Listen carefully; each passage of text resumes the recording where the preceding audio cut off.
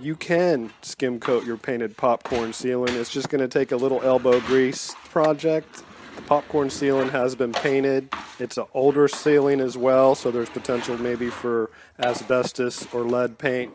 So instead of tearing out the drywall and starting over with this ceiling, the customer wanted me to just skim coat over the painted popcorn ceiling. Here's a few reasons why you might want to skim coat by hand first. The first coat, when you're going over a texture, a lot of times you don't want to thin it down enough to use with a paint roller because it needs to be probably a thick pancake batter consistency, which means when you're going over a texture, you want to keep the body of the joint compound intact so you don't have to keep doing multiple coats. Meaning that if it's too thin, it's not going to cover real good over texture, especially if it's a heavy texture like a painted popcorn ceiling that you're going to skim coat over, or even a knockdown or skip trowel texture. The first coat, I usually don't put on with a roller. And like I said previously, I think I can go faster without the roller if I'm by myself. Now, two people is a whole nother story, but that's not going to change